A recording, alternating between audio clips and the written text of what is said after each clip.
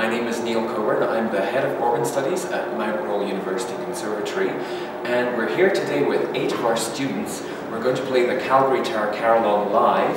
This is part of the First Thursdays Cultural District and also part of the Calgary Organ Festival and Symposium.